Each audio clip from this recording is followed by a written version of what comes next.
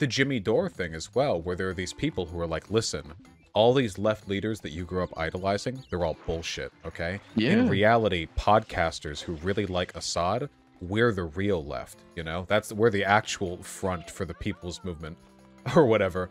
Yeah, Bernie has been dropped by a lot of people on the left because they really do just think that he or anyone else, if they were just willful enough, would be capable of making all these positive changes. They're not in it for the long haul. They're not willing to engage in that long-term, exhausting process of meaningfully scraping power off bit by bit.